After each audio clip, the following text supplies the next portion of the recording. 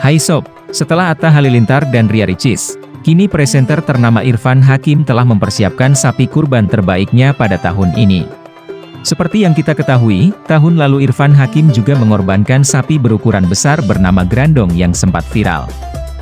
Dan pada tahun ini, setelah berkeliling ke beberapa peternakan sapi, kini Irfan Hakim telah mendapatkan sapi kurban pilihannya yang bernama Wisanggeni.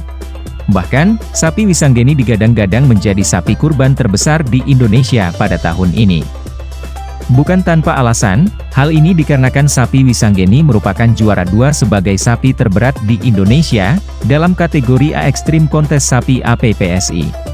Namun karena sapi yang menjadi juara satu telah gugur, maka secara otomatis sapi Wisanggeni menjadi sapi terberat di Indonesia pada saat ini.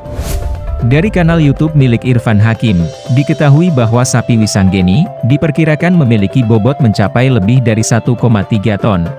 Sedangkan untuk harganya, diperkirakan lebih dari 200 juta rupiah.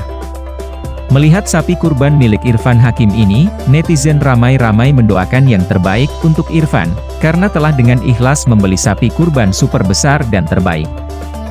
Kira-kira, apakah sapi Wisanggeni menjadi sapi kurban terbesar pada tahun ini? Atau akan ada sapi kurban terbesar lainnya? Oke sob, terima kasih sudah menonton, sampai jumpa di video selanjutnya.